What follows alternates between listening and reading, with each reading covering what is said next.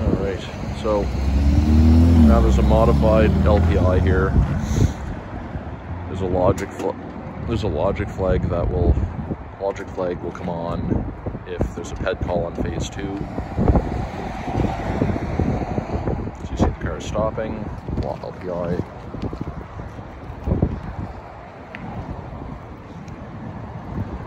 Go that green. So what it's doing here is it's at the end of a protected permitted left turn. You're not really supposed to have an LPI there in case somebody turns, gets confused if the other lights are red.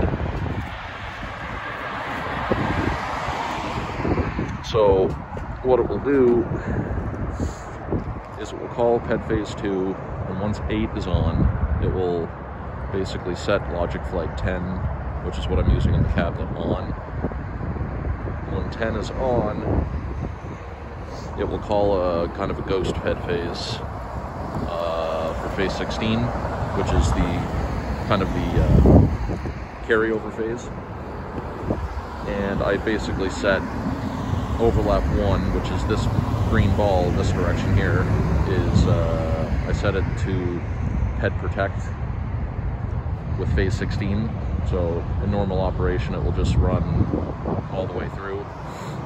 Because that arrow shuts off at that time anyway. So the arrow will just kind of turn off. But the green ball will stay green.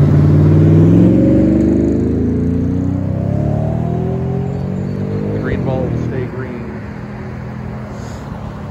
if uh, there's no ped call, but if there is, it will uh, it will terminate.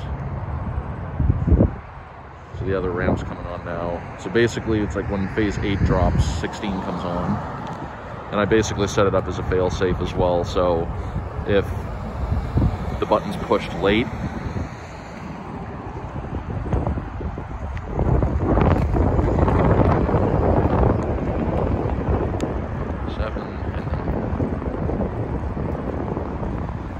I have like a pedestrian clear through red, so it will immediately come back. So yeah, the people that are going straight do get stopped. And ideally a leading through interval here would be ideal. But a lot of people like to make U-turns. So a lot of this traffic's going onto the highway in both directions.